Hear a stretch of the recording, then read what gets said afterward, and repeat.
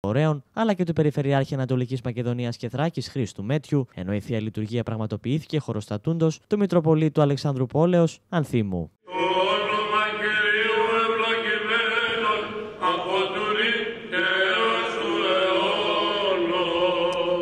Μας αξίωσε ο Θεός άλλη μια φορά στη ζωή μας να δούμε την ανατολή ενός νέου έτους.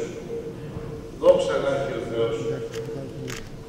Ας αξιοποιήσουμε αυτό το έτος προκειμένου να αντιληφθούμε οι άνθρωποι ότι η αξία μας και η ομορφιά την οποία μας καλεί ο Θεός να ζήσουμε σε αυτόν τον κόσμο Παράλληλα, την παραμονή της πρωτοχρονιάς, ο Δήμαρχος Αλεξανδρούπολης Βαγγέλης Λαμπάκης προχώρησε στα εγγένεια της πλατείας Κύπρου, όπου και ακολούθησε ξέφρενο γλέντι με κέφι και πολύ τραγούδι.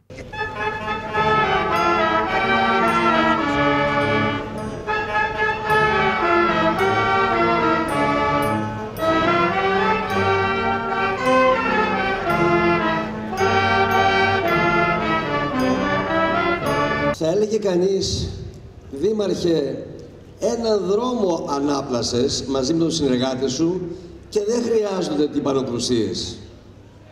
Εγώ δεν χρειάζομαι τυμπανοκρουσίες, εξάλλου το έχω αποδείξει 8 ολόκληρα χρόνια σήμερα συμπληρώνω, ακριβώς 8. Και δεν χρειάζεται να δείξω κάτι περισσότερο ή λιγότερο από αυτό που προσπαθώ μέχρι τώρα μαζί με τους συνεργάτες μου.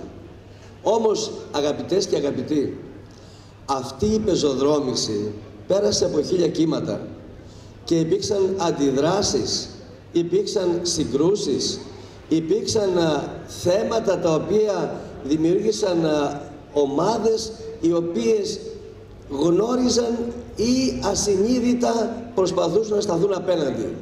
Τα εγγένεια σήμερα γίνονται γιατί αυτός ο δρόμος σηματοδοτεί μια αλλαγή ζωής, τρόπους ζωής, νοοτροπίας, αντίληψης και κίνησης στο κέντρο της πόλης. Καλή χρονιά, καλή προκοπή στα παιδιά μας, υγεία, αγάπη και καλή πίστη όπως είπα. Χρόνια πολλά, καλή χρονιά, καλή διασκέδαση.